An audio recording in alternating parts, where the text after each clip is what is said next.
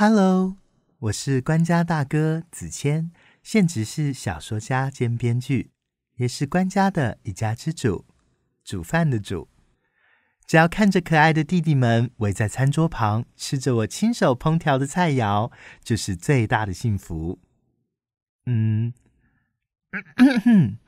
由我编写的《有五个哥哥的我》，即将于每周五晚间八点在 T 台播出。希望你们会喜欢这出家庭温馨喜剧，别忘了准时收看哦。